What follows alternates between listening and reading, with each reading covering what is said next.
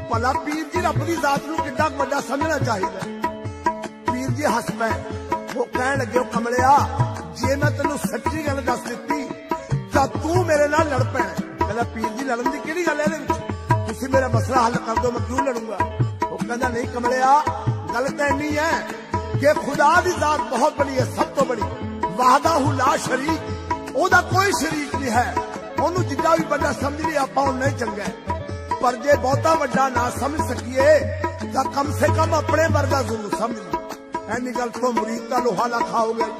ਕਹਿਣਗੇ ਪੀਰ ਜੀ, ਉਹ ਪਾਕ ਦਾਤ ਰੱਬ, ਅਸੀਂ ਬੰਦੇ ਗੰਦੇ, ਅਸੀਂ ਉਹਨੂੰ ਆਪਣੇ ਵਰਗਾ ਸਮਝ ਲਈਏ। ਪੀਰ ਦੀ ਦਾਤ ਕਹਿਣਗੇ ਕਮਲਿਆ, ਤੈਨੂੰ ਕਿਹਾ ਨਹੀਂ ਸੀ ਜੇ ਮੈਂ ਤੈਨੂੰ ਸੱਚੀ ਗੱਲ ਦੱਸ ਦਿੱਤੀ, ਤਾਂ ਤੂੰ ਮੇਰੇ ਨਾਲ ਲੜ ਪੈਣਾ।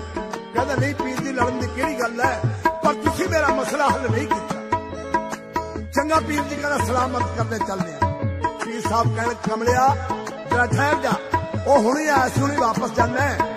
ਪੈਣਾ ਤੇਰਾ ਦੂਰ ਦਾ ਆਲਾ ਰੋਟੀ ਲੈ ਜਾ ਨਾਲ ਬੰਦ ਕੇ। ਜਿੱਥੇ ਭੁੱਖ ਲੱਗੂ ਉੱਥੇ ਖਾ ਲਈ। ਚਲੇ ਜਾ। ਅੰਦਰੋਂ ਰੋਟੀ ਬੰਨ ਕੇ ਆ ਗਈ। ਸਾਜੀ, ਰੋਟੀ ਬੰਨ ਕੇ ਚੱਲ ਪਿਆ। ਔਰ ਤੁਰਿਆ ਜਾਂਦਾ, ਦਿਲ 'ਚ ਖਿਆਲ ਆਉਂਦਾ ਕਿ ਤੇਰਾ ਮਸਲਾ ਹੱਲ ਨਹੀਂ ਹੋਇਆ। ਖਬਰ ਨਹੀਂ, ਉਹ ਲੋਕ ਸੱਚੇ ਹੀ ਨੇ। ਅੱਗੇ ਆ ਕੇ ਕੀ ਦੇਖੇ? ਦੁਪਹਿਰਾ ਆ ਗਿਆ, ਇੱਕ ਚੰਗਾ ਦਰਖਤ ਵੀ ਆ ਗਿਆ। ਉੱਥੇ ਪਾਣੀ ਦਾ ਇੰਤਜ਼ਾਮ ਸੋਚਿਆ। ਕਿ ਇੱਥੇ ਨਾਲ ਤਾਂ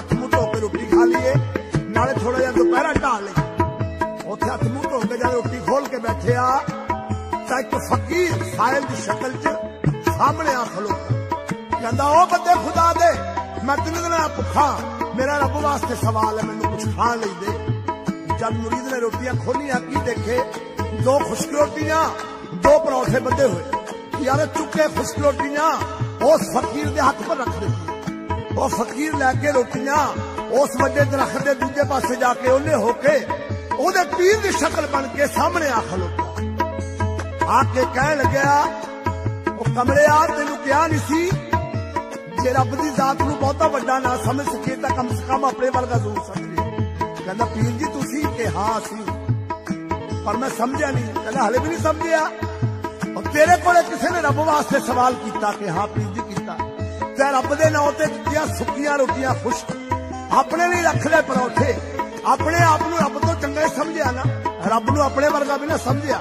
ਜੇ ਆਪਣੇ ਵਰਗਾ ਸਮਝ ਲੈਂਦਾ, ਤਾਂ ਕਮ ਸੇ ਕਮ ਇੱਕ ਪਰੌਠਾ, ਇੱਕ ਰੋਟੀ ਉਹਦੇ ਨਾਂ ਤੇ ਦੇ ਦਿੰਦਾ, ਇੱਕ ਆਪ ਖਾ ਲੈਂਦਾ। ਉਹ ਕਮਲਿਆ ਤੇ ਤੇ ਰੱਬ ਨੂੰ ਆਪਣੇ ਨਾਲੋਂ ਹੇਠਾਂ ਹੀ ਸਮਝਿਆ ਨਾ ਐਨੀ ਗੱਲ ਸੁਣ ਕਹਿ ਕੇ ਪੀਰ ਦੀ ਉੱਥੋਂ ਗਾਇਬ ਹੋ ਗਏ, ਰੂਹ ਪੋਸ਼ ਹੋ ਗਏ। ਉਸ ਮੁਰੀਦ ਦੇ ਦਿਲ ਨੂੰ ਬੜੀ ਬੇਚੈਨੀ ਲੱਗੀ। ਤੇ ਤੂੰ ਤਾਂ ਬਹੁਤ ਬੇਅਦਬੀ ਕਰ ਬੈਠਿਆ। ਤੇਰੇ ਪੀਰ ਤੇ ਤੋਂ ਨਾਰਾਜ਼ ਹੋ ਗਏ। ਉਹ ਲੋਕ ਤਾਂ ਤੈਨੂੰ ਐਵੇਂ ਚੁੱਕਣ ਵਾਲੇ ਸੀ। ਮਸਲਾ ਹੱਲ ਹੋ ਗਿਆ। ਉੱਥੇ ਸੋਚਦਾ ਕਿ ਬੰਦੇ ਆ, ਚੱਲ ਪੀਰ ਦੀ ਜ਼ਾਤ ਨੂੰ ਮਨਾ, ਜਿੱਦਾਂ ਵੀ ਮੰਨਦਾ। ਉੱਥੇ ਵਾਪਸ ਆ ਗਿਆ ਔਰ ਤੁਰੇ ਆਉਂਦੇ ਤੇ ਬਾਬਾ ਬੁੱਲੇ ਸ਼ਾਹ ਵਾਲਾ ਖਿਆਲ ਆ ਗਿਆ। ਬਾਬਾ ਬੁੱਲੇ ਸ਼ਾਹ ਨੇ ਆਪਣੇ ਪੀਰ ਦੀ ਦਾਤ ਨੂੰ ਜਨਾਨਾ ਭੇਸ ਬਣਾ ਕੇ ਨੱਚ ਕੇ ਬਣਾਇਆ ਸੀ। ਆਪਣਾ ਭੇਸ ਬਣਾ ਕੇ ਜਨਾਨਾ ਦਰਬਾਰ ਚਲਿਆ ਗਿਆ, ਜਾ ਕੇ ਉੱਥੇ ਨੱਚਣ ਲੱਗ ਗਿਆ। ਉਹ ਲੋਕ ਵੀ ਜਿਨ੍ਹਾਂ ਨੇ ਭੇਜਿਆ ਸੀ ਵੀ ਆਇਆ ਹੀ ਨਾ ਮੁੜ ਕੇ, ਉਹ ਵੀ ਆ ਗਏ ਉੱਥੇ। ਉਹ ਆ ਕੇ ਜਦ ਦੇਖਿਆ ਵੀ ਤਾਂ ਨੱਚਣ ਲੱਗਿਆ ਹੋਇਆ, ਉਹ ਕਹਿਣ ਲੱਗੇ ਕੀ ਕਰਨ ਲੱਗਾ ਉਹ ਕਿਉਂ ਕੀ ਜਵਾਬ ਦਿੰਦਾ? ਮੈਨੂੰ ਇਸ਼ਕ ਨਚਾਵੇ ਆਪੇ ਨੱਚ ਹੋਈ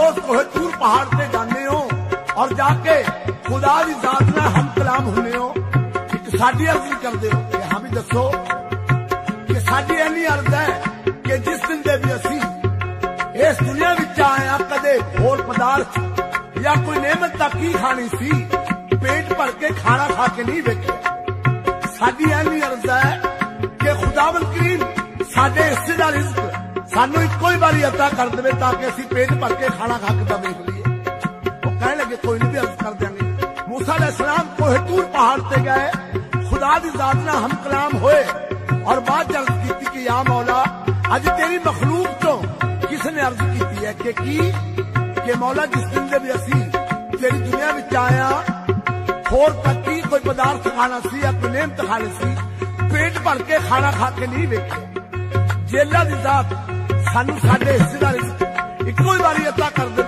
ਤਾਂ ਅਸੀਂ ਪੇਟ ਭਰ ਕੇ ਖਾਣਾ ਖਾ ਕੇ ਤਾਂ ਵੇਖ ਲਈਏ। ਦਰਿਆ ਰਹਿਮਤ ਜੋਸ਼ ਚ ਆਇਆ। ਖੁਦਾਵੰਦ ਕਰੀਮ ਨੇ ਫਰਮਾਤਾ ਕਿ ਜਾਓ ਮੂਸਾ, ਉਹਨਾਂ ਨੂੰ ਕਹਿ ਦਿਓ ਕਿ ਉਹਨਾਂ ਦੇ ਹਿੱਸੇ ਦਾ ਰਿਜ਼ਕ ਉਹਨਾਂ ਨੂੰ ਮਿਲ ਜਾਏਗਾ। ਹਜ਼ਰਤ ਮੂਸਾ ਅਲੈਹਿਸਸਲਾਮ ਆ ਗਏ। ਅੱਗੇ ਮਾਈ ਔਰ ਬਜ਼ੁਰਗੋ ਰਸਤੇ 'ਚ ਖੜੇ ਨੇ। ਪੁੱਛਦੇ ਨੇ ਕਿ ਕਿਉਂ ਮੂਸਾ ਅਲੈਹਿਸਸਲਾਮ ਕੀ ਹੁਕਮ ਲਿਆ ਸਾਡੇ ਵਾਸਤੇ? ਕਿ ਹਾਂ ਵੀ ਤੁਹਾਡੀ ਅਰਜ਼ ਕਰ ਦਿੱਤੀ। ਸਾਡੇ ਹਿੱਸੇ ਦਾ ਰਿਜ਼ਕ ਤੁਹਾਨੂੰ ਮਿਲ ਜਾਏਗਾ। ਤਾਂ ਦੋਸਤੋ ਬਜ਼ੁਰਗੋ, ਕਿਹਾ ਜਾਂਦਾ ਹੈ बहाने मौत। खुदा की जात ने कोई ना कोई हीला बनाया। उन्होंने हिस्से का रिस्क उन्होंने मिल गया।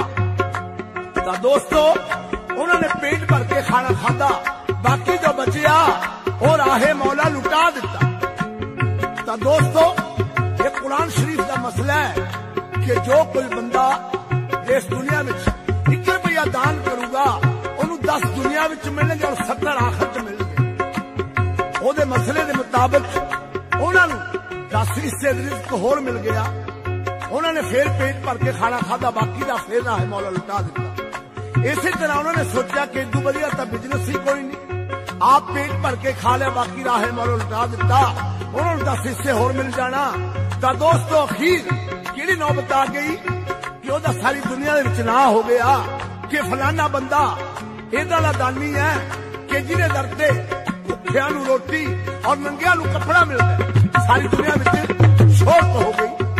ਤਾਂ ਦੋਸਤੋ ਖੁਦਾਬੰਦ ਕਰੀਮ ਫਿਰ ਆਪਣੇ ਬੰਦੇ ਦਾ ਇਮਤਿਹਾਨ ਵੀ ਲੈਂਦਾ ਕਿ ਮੇਰਾ ਬੰਦਾ ਮੈਨੂੰ ਕਿਤੇ ਭੁੱਲ ਤਾਂ ਨਹੀਂ ਗਿਆ ਗੁਮਰਾਹ ਤਾਂ ਨਹੀਂ ਹੋ ਗਿਆ ਅੱਲਾ ਦੀ ਜ਼ਾਤ ਨੇ ਫਰਿਸ਼ਤੇ ਨੂੰ ਭੇਜਿਆ ਕਿ ਜਾ ਫਰਿਸ਼ਤਿਆ ਜਾ ਕੇ ਮੇਰੇ ਬੰਦੇ ਦਾ ਇਮਤਿਹਾਨ ਲੈ ਕੇ ਆ ਫਰਿਸ਼ਤਾ ਆਇਆ ਆ ਕੇ ਕੀ ਦੇਖੇ ਕਿ ਉਹਦੇ ਬੂਹੇ ਤੇ ਮੰਗਣ ਵਾਲਿਆਂ ਦੀ ਲਾਈਨ ਲੱਗੀ ਹੋਈ ਹੈ ਫਰਿਸ਼ਤਾ ਵੀ ਆ ਕੇ ਉਸ ਲਾਈਨ ਚ ਲੱਗ ਗਿਆ ਉਸ ਬੰਦੇ ਦਾ ਕੀ ਕੰਮ ਹੈ ਉਹਦੀਆਂ ਅੱਖਾਂ ਮੀਚੀਆਂ ਹੈ ਔਰ ਨੀਵੀਂ ਪਾਈ ਹੋਈ ਹੈ ਦੇਈ ਜਾ ਰਿਹਾ ਰਾਹੇ ਮੌਲਾ ਤਾਂ ਦੋਸਤੋ ਫਰਿਸ਼ਤੇ ਦੀ ਬਾਰੀ ਵੀ ਆ ਗਈ ਉਹ ਆ ਕੇ ਉਹਦਾ ਇਮਤਿਹਾਨ ਲੈਂਦਾ ਕੀ ਕਹਿੰਦਾ ਹੈ ਕਹਿੰਦਾ ਦੇਤਾ ਹੈ लेता नहीं अरे देता है लेता नहीं किस्मत नी में नैन अगे वो की जवाब दिंदा है अरे देने वाला कोई और है मैं क्या दे सकता हूँ ये एक आका इनामदार ताजदार अंबिया हज़रत मोहम्मद रसूल वसलम का सबका कुल कायनात में मिलता है। अरे देने वाला कोई और है जो देता है दिल रैन। ये लोग धर्म मुझ पर करे, मेरे इसमें दिल्ली में कहता है, मिलता है।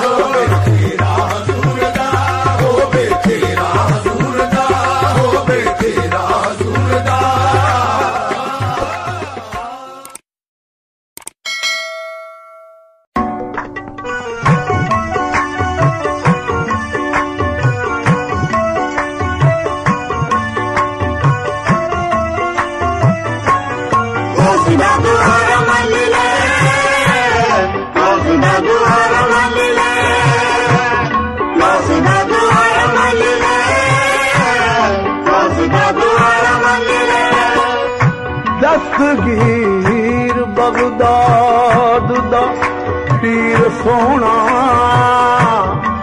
ਹੱਥੀਂ ਦਫਤਰ ਗੁਨਾਹਾਂ ਦੇ ਧੋ ਸਕਦਾ।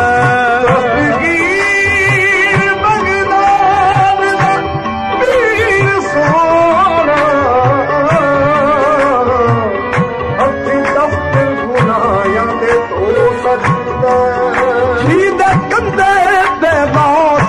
कदम रखे हशर तक बली नहीं हो सकता।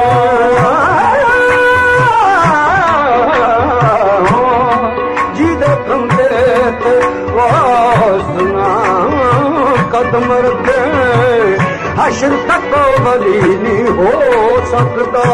क्या सकता सकता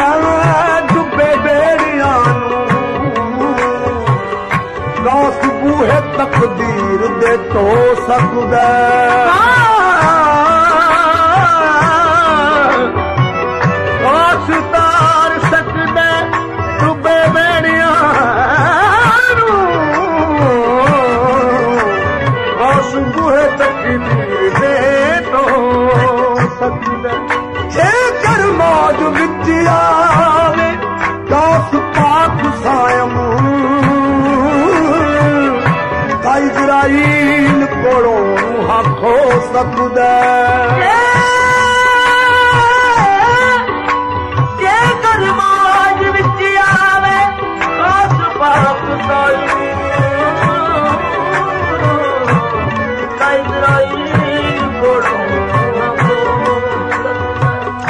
हज़रत जनग पाक सीरा पीर दफ़ वीर अब्दुल محبوب शाह जीदा سرکار دا आप सरकार جی دی जहिड़ी नवी नमी शादी ਕੁਦਰਤ ਮਾਲਕ ਦੀ ਸ਼ਾਦੀ ਤੋਂ ਮਹੀਨਾ 20 ਦਿਨਾਂ ਬਾਅਦ ਉਸ ਸਰਕਾਰ ਦੇ ਮਰੀਜ਼ ਦਾ ਇੰਤਕਾਲ ਹੋ ਗਿਆ। ਜਦੋਂ ਗੁਜ਼ਰ ਗਿਆ, ਤਾਂ ਉਹਦੇ ਘਰ ਵਾਲੀ ਨੱਠੀ ਨੱਠੀ ਸਰਕਾਰ ਜਨਾਬ ਗੌਸ ਪਾਕ ਪੀਰਾਂ ਦੇ ਪੀਰ ਦਸਤਗੀਰ ਦੀ ਸੇਵਾ ਵਿੱਚ ਹਾਜ਼ਰ ਹੋਈ।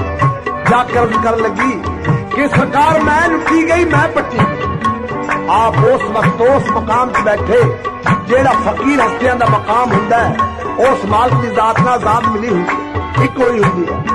ਉਸ ਵਕਤ ਲੜਕੀ ਨੇ ਜਾ ਕੇ ਅਰਜ਼ ਕਰ ਦਿੱਤੀ। ਆਪ ਫਰਮਾਉਣ ਲੱਗੇ, ਕੀ ਹੋਇਆ ਲੜਕੀ?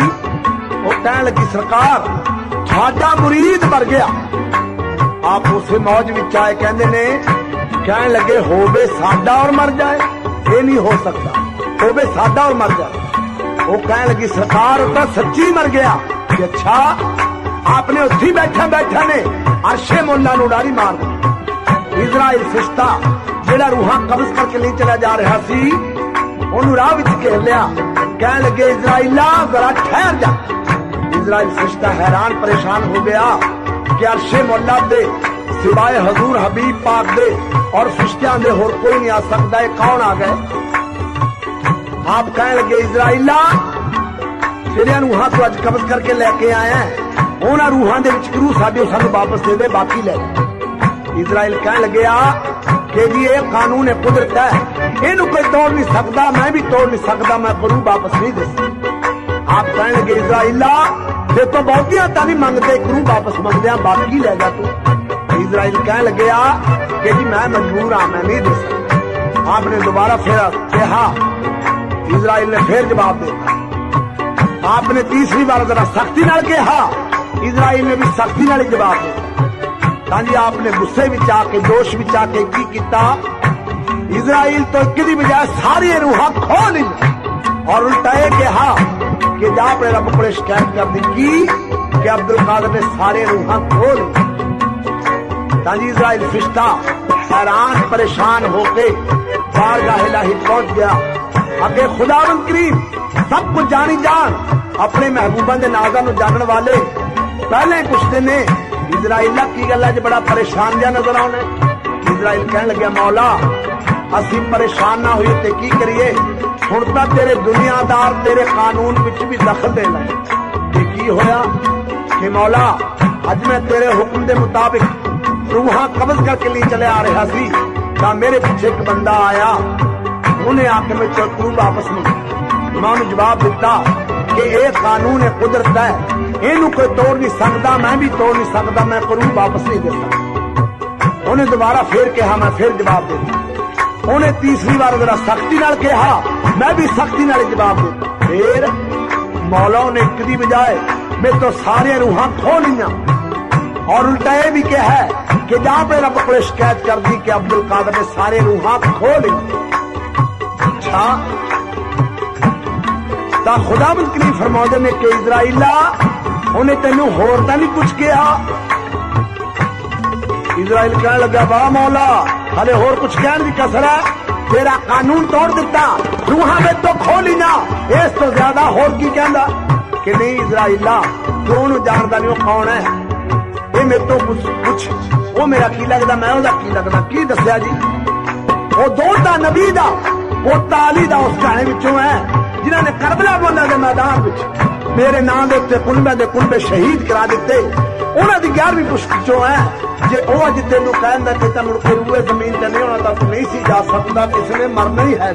ਇਹ ਤਾਂ ਕਿਹਾ ਕਿ ਨਾ ਮੌਲਾ, ਇਹ ਤਾਂ ਕਿ ਇਜ਼ਰਾਈਲਾ, ਤੂੰ ਨਹੀਂ ਉਹਨੂੰ ਜਾਣਦਾ। ਇਹ ਮੈਂ ਤੋਂ ਸੁਣੋ ਮੇਰਾ ਕੀ ਲੱਗਦਾ, ਮੈਂ ਉਹਦਾ ਕੀ ਲੱਗਦਾ, ਕੀ ਦੱਸਿਆ ਜੀ? ਜੋ ਚਾਹੇ ਉਹ ਕਰੇ, ਜੋ ਚਾਹੇ ਉਹ ਕਰੇ, ਉਸੇ ਸਭ सब यार है। क्योंकि मैं उसका यार हूँ और वो मेरा यार है।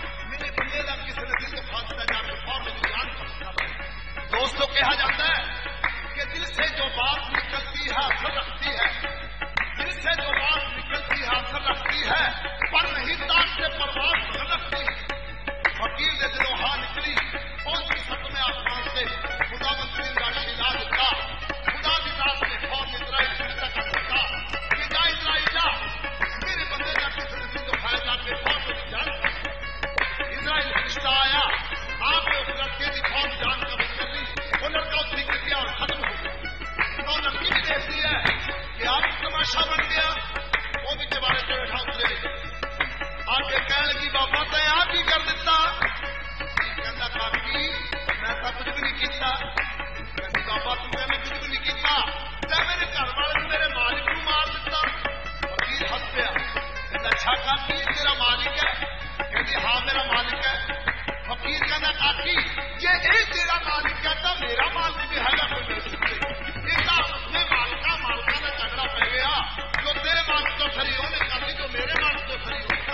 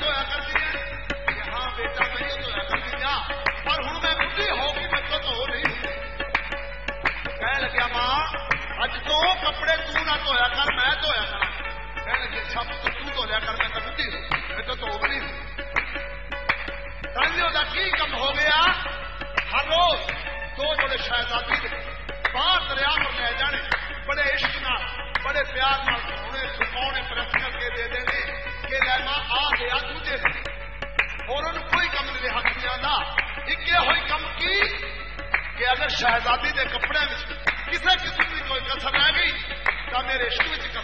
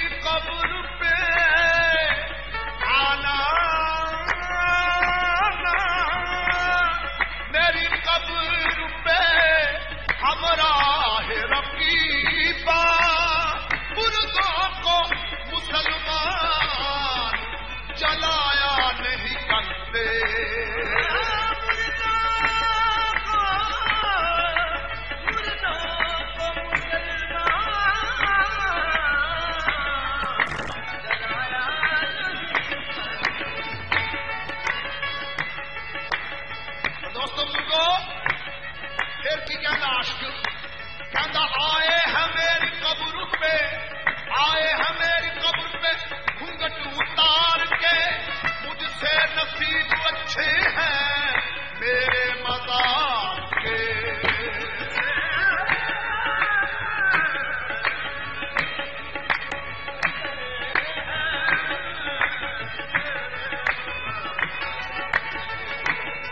शहजादी ने तुरी जाती ने।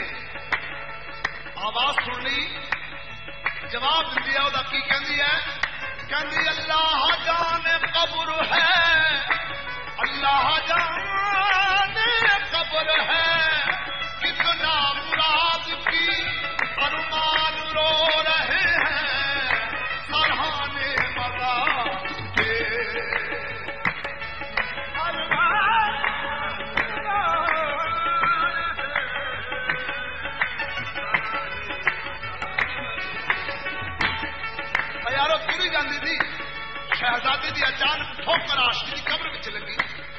ठोकर लगी।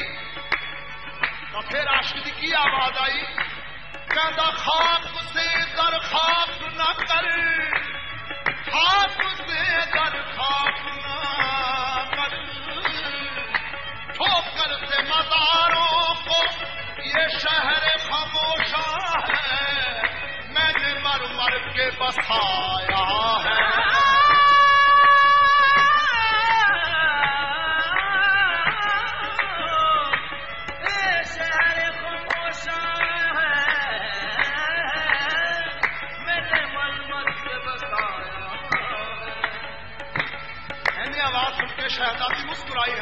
तेरे बंदे रब तू ही पे तेरा इश्क ऐसे कमाल में पहुंचया होया है कि मरा पे अभी सवाल जवाब कर दे कमर के बिचों लिहाजा की मुस्कुराई हँसी तो फिर आशिक की आवाज़ आई।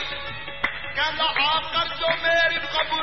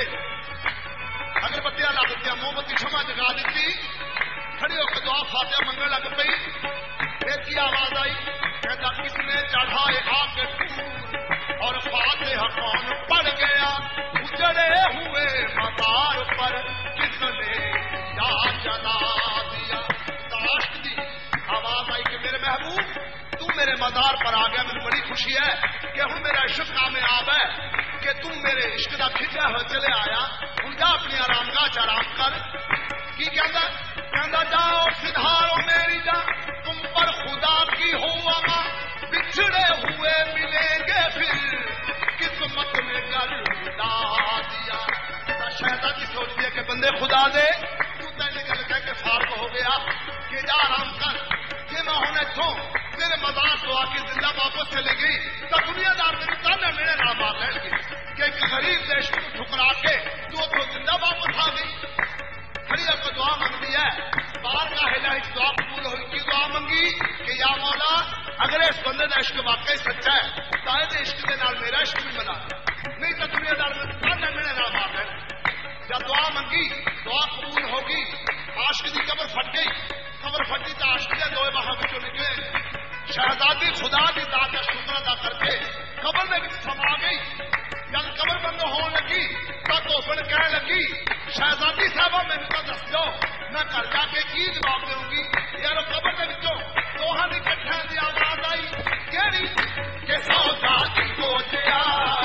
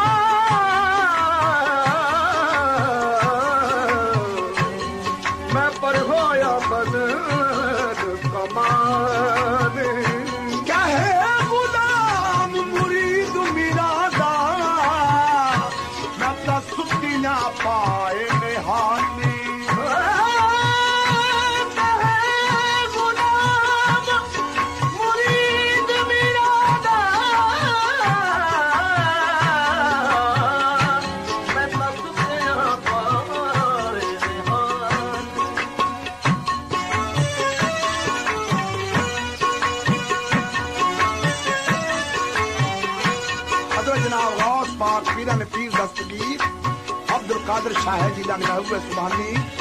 ਇੱਕ ਦਿਨ ਦਾ ਜ਼ਿਕਰ, ਆਪ ਆਪਣੇ ਮੁਰੀਦਾਂ ਦੇ ਨਾਲ ਚਲੇ ਜਾ ਰਹੇ ਨੇ। ਜਾਂਦੇ ਨੂੰ ਰਾਹ ਵਿੱਚ ਕਿਹੜਾ ਵਕਤ ਆ ਗਿਆ? ਦੁਪਹਿਰ ਦਾ ਟਾਈਮ ਸੋਹਰ ਦੀ ਨਮਾਜ਼ ਦਾ ਵਕਤ ਆ ਗਿਆ। ਰਾਹ ਵਿੱਚ ਚੰਗੀ ਬੇਰੀ ਆ ਗਈ, ਬੇਰੀ ਦੀ ਚੰਗੀ ਛਾਂ ਔਰ ਪਾਣੀ ਦਾ ਇੰਤਜ਼ਾਮ। ਉੱਥੇ ਆਪ ਨੇ ਆਪਣੇ ਮੁਰੀਦਾਂ ਨੂੰ ਹੁਕਮ ਦਿੱਤਾ ਕਿ ਮੁਰੀਦੋ, ਇੱਥੇ ਵਜ਼ੂ ਬਣਾ ਲਓ ਤੇ ਨਮਾਜ਼ ਅਦਾ ਕਰੋ।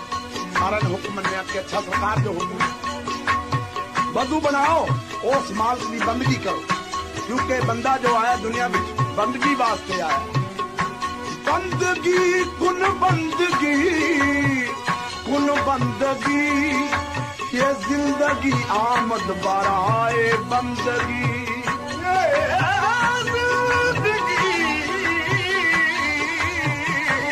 ਆਮਦ ਬਰਾਏ ਬੰਦਗੀ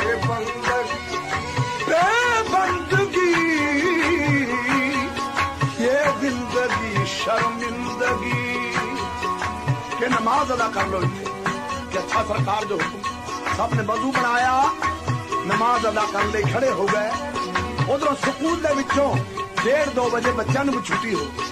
ਬੱਚੇ ਵੀ ਛੁੱਟੀ ਕਰਕੇ ਉਸੇ ਰਾਹ ਨੂੰ ਆ ਗਏ, ਜਿਹੜੇ ਰਾਹ ਵਿੱਚ ਜਨਾਬ ਗੌਸ ਪਾ ਤੇ ਆਪ ਦੇ ਮੁਰੀਦ ਖੜੇ ਨਮਾਜ਼ ਅਦਾ ਕਰਦੇ ਸਨ ਬੱਚਾ ਨੇ ਆ ਕੇ ਦੇਖਿਆ ਕਿ ਜਿਹੜੀ ਬੇਰੀ ਥੱਲੇ ਖੜੇ, ਜਨਾਬ ਗੌਸ ਪਾ ਤੇ ਆਪ ਦੇ ਮੁਰੀਦ ਨਮਾਜ਼ ਅਦਾ ਕਰਦੇ ਨੇ, ਉਹ ਬੇਰੀ ਬੇਰਾਂ ਨਾਲ ਖੜੀ ਪਈ। ਬੱਚਾ ਦਿਲ 'ਚ ਖਿਆਲ ਆਇਆ ਕਿ ਚਲੋ ਬੇਰ ਖਾਈ ਸਾਰਾ ਨੇ ਇੱਟਾਂ ਰੋੜੇ ਚੁੱਕ ਲੈ ਹਿੰਮਾ ਚੁੱਕ ਲੀਆਂ ਚੁੱਕ ਕੇ ਲਾਗੇ ਬੇਰੀ ਦੇ ਮਾਰ ਬੇਰ ਝਾੜ ਲੱਗੇ ਝਾੜ ਕੇ ਖਾਣ ਲੱਗ ਪਏ। ਜਨਾਬ ਗੌਸ ਪਾਕ ਦਾ ਥੋੜਾ ਜਿਹਾ ਵਕਤ ਰਹੇ ਇੱਕ ਰਕਾਤ ਨਮਾਜ਼ ਦੀ।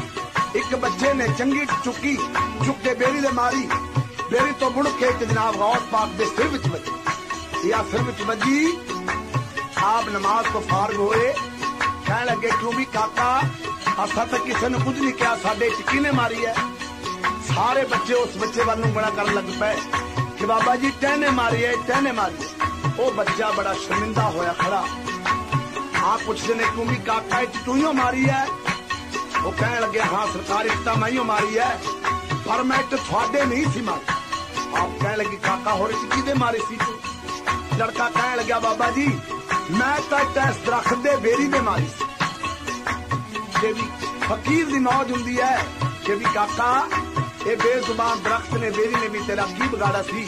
ਤੈ ਇਹਦੇ ਵਿੱਚੋਂ ਇੱਟ ਮਾਰੀ। ਲੜਕਾ ਕਹਿਣ ਲੱਗਿਆ ਬਾਬਾ ਜੀ ਜੇ ਅਸੀਂ ਇਹਦੇ ਇੱਟ ਮਾਰਦੇ ਆ ਤਾਂ ਸਾਨੂੰ ਖਾਣ ਲਈ ਇਹ ਫੜ ਦਿੰਦੀ ਆ ਤਦ ਇੱਟ ਮਾਰੀ। ਆ ਬਦਲ ਵਿੱਚ ਆ ਗਏ ਮੌਤ ਜਾ ਕੇ ਕਹਿਣ ਲੱਗੇ ਕਾਕਾ ਜੇ ਇੱਕ ਦਰਖਤ ਇੱਟ ਲੱਗੀ ਤਾਂ ਤੈਨੂੰ ਖਾਣ ਲਈ ਫਲ ਦੇ ਸਕਦਾ ਹੈ, ਤਾਂ ਤੇਰੀ ਟੱਜ ਇੱਕ ਫਕੀਰ ਦੇ ਲੱਗੀ ਹੈ ਮੰਗ ਜੋ ਮੰਗਦਾ, ਜੋ ਮੰਗੇ ਸੋਈ ਪਾਵੇਂ ਫਕੀਰ ਦੇ ਦੁਆਰੇ ਤੋਂ ਕਦੇ ਖਾਲੀ ਨਾ।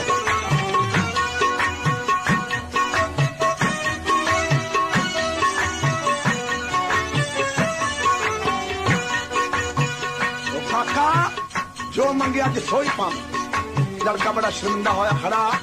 ਕਹਿਣ ਲੱਗਿਆ, ਬਾਬਾ ਜੀ, ਹੋਰ ਤੇ ਮੈਂ ਕੁਝ ਨਹੀਂ ਮੰਗਦਾ। ਮੈਂ ਤਾਂ ਮਾਫੀ ਮੰਗਦਾ ਜਿਹੜੀ ਮੇਰੇ ਤੋਂ ਗਲਤੀ ਹੋ ਗਈ। आप कह लगे काका, दूसरा कौल है।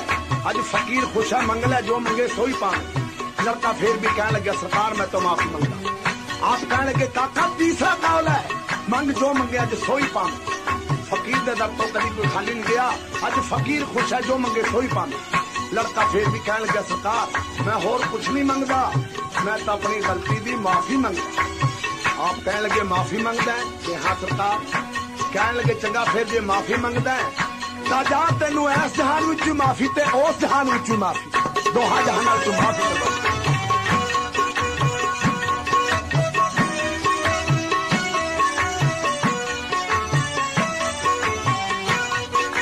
ਤੈਨੂੰ ਜੋ ਦੋਹਾਂ ਜਹਾਨਾਂ ਵਿੱਚ ਮਾਫੀ ਕਰਵਾ ਦਿੱਤੀ। ਔਰ ਇੱਕ ਫਕੀਰ ਦੀ ਤੈਨੂੰ ਦੁਆ ਹੈ, ਜੋ ਜ਼ੁਬਾਨ ਚੋਂ ਕੱਢੇਗਾ, ਸੋ ਤੇਰਾ ਪਾਰ ਜਾਊਗਾ। ਆਪ ਦੁਆ ਦੇ ਕੇ ਆਪਣੇ ਮੁਰੀਦਾਂ ਦੇ ਨਾਲ ਚਲੇ ਗਏ। ਬੱਚੇ ਵੀ ਆਪੋ ਆਪਣੇ ਘਰਾਂ ਨੂੰ ਚਲੇ ਗਏ। ਸ਼ਾਮ ਹੋਈ, ਰਾਤ ਪੈ ਗਈ, ਆਰਾਮ ਕੀਤਾ। ਦੂਈ ਸਵੇਰ ਦਿਨ ਚੜਿਆ। ਸਵੇਰ ਬੱਚੇ ਸਕੂਲ ਦੀ ਤਿਆਰੀ ਕਰਨ ਲੱਗ ਪਏ। ਉਹ ਲੜਕਾ ਕੱਲ ਜਿਹਦੇ ਨਾਲ ਇਹ ਵਾਕਿਆ ਪੇਸ਼ ਆਇਆ ਸੀ ਨਹਾ ਧੋ ਕੇ ਖੜਾ ਆਪਣੇ ਦੋਸਤ ਨੂੰ ਉਡੀਕਦਾ ਉਹਦਾ ਦੋਸਤ ਨਹੀਂ ਆਇਆ। ਜਦ ਕਾਫੀ ਉਹਦਾ ਇੰਤਜ਼ਾਰ ਕੀਤਾ, ਨਾ ਆਇਆ, ਸੋਚਿਆ ਕਿ ਮੈਂ ਚੱਲ ਕੇ ਪਤਾ ਲੈ ਲਵਾਂ। ਜਦ ਉਹਦੇ ਘਰ ਵੱਲ ਨੂੰ ਗਿਆ, ਕੀ ਦੇਖੇ ਜਾ ਕੇ? ਕੁਦਰਤ ਮਾਲਕ ਦੀ ਜਾਂਦੇ ਨੂੰ ਉਹਦਾ ਦੋਸਤ ਕਜ਼ਾ ਇਲਾਹੀ ਨਾਲ ਫੌਤ ਹੋਇਆ ਪਿਆ, ਮਰਿਆ ਪਿਆ। ਉਹਦਾ ਦੋਸਤ ਮਰ ਗਿਆ। ਉਹਦੇ ਘਰ ਰੋਣ ਪਿੱਟਣ ਪਿਆ ਪਿਆ, ਉਸ ਮੁਰਦਾ ਬੱਚੇ ਦੀ ਮਾਂ ਨੇ ਵੇਖਿਆ ਕਿ ਮੇਰੇ ਪੁੱਤਰ ਦਾ ਦੋਸਤ ਆ ਗਿਆ। ਉਹਨੇ ਨੱਠ ਕੇ ਜਾ ਕੇ ਸੀਨੇ ਨਾਲ ਲਾ ਲਿਆ ਰੋਣ ਲੱਗ। ਉਹ ਕਹਿਣ ਲੱਗਿਆ, ਮਾਂ ਰੋਣੀ ਕਿਉਂ ਹੈ ਕੀ ਗੱਲ ਹੋ ਗਈ? ਮੇਰਾ ਦੋਸਤ ਕਿੱਥੇ ਹੈ ਅਸੀਂ ਸਕੂਲ ਨੂੰ ਜਾਣਾ ਲੇਟ ਹੁੰਨੇ ਆ। ਉਹ ਕਹਿਣ ਲੱਗੀ, ਪੁੱਤਰ, ਉਹ ਤਾਂ ਉਹ ਮਰ ਗਿਆ, ਮਰਿਆ ਪਿਆ। ਕਹਿਣ ਲੱਗਿਆ, ਨਹੀਂ ਮਾਂ, ਰਾਤੀ ਅਸੀਂ ਚੰਗੇ ਭਲੇ ਆਏ ਆ ਕਿ ਹਾਂ, ਰਾਤੀ ਚੰਗੇ ਭਲੇ ਆਏ ਸੀ ਤੁਸੀਂ?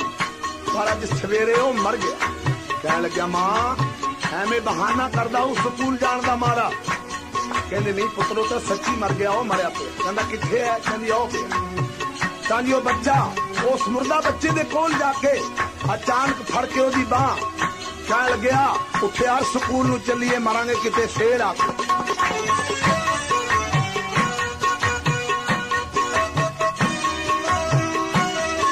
ਸਿਆਣੀ ਬਾਤ ਕਹੀ ਮੋਢਾ ਬੱਚਾ ਉੱਠ ਕੇ ਬੈਠਾ ਹੋ ਗਿਆ। ਜਦੋਂ ਬੈਠਾ ਹੋਇਆ ਤਾਂ ਸਾਰੇ ਲੋਕ ਉਹਦੇ ਆਲੇ ਦਾਲੇ ਹੋ ਗਏ। ਉਹ ਕਾਕਾ ਛੋਟੀ ਜੀ ਉਮਰ ਦੇ ਵਿੱਚ ਕੀ ਰੱਬ ਰੱਬ ਕਰਦਾ ਹੁੰਦਾ ਕੀ ਤਪੱਸਿਆ ਕਰਦਾ ਹੁੰਦਾ ਜਿਹਦੇ ਨਾਲ ਤੇਰਾ ਮੁਰਦਾ ਜ਼ਿੰਦਾ ਕਰ ਦਿੱਤਾ। ਉਹਦੇ ਵੀ ਕੱਲ ਵਾਲਾ ਵਾਕਿਆ ਯਾਦ ਆ ਗਿਆ। ਉਹ ਕਹਿਣ ਲੱਗਿਆ, ਮੈਂ ਕੋਈ ਰੱਬ ਰੱਬ ਨਹੀਂ ਕਰਦਾ, ਕੋਈ ਤਪੱਸਿਆ ਨਹੀਂ ਕਰਦਾ।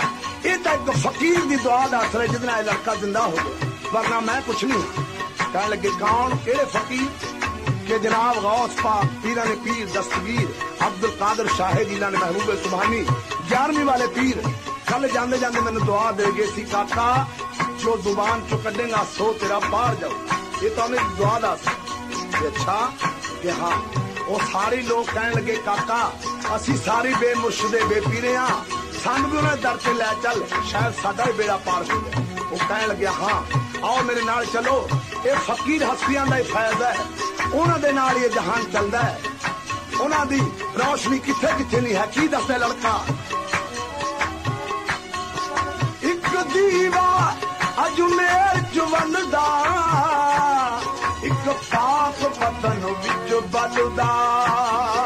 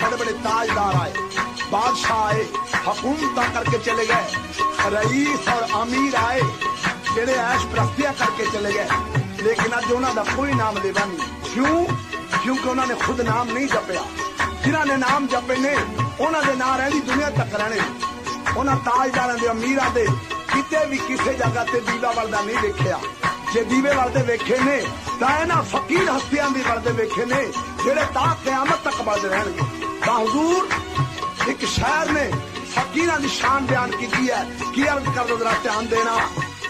ताजदारा देना मीरा दे, ताजदारा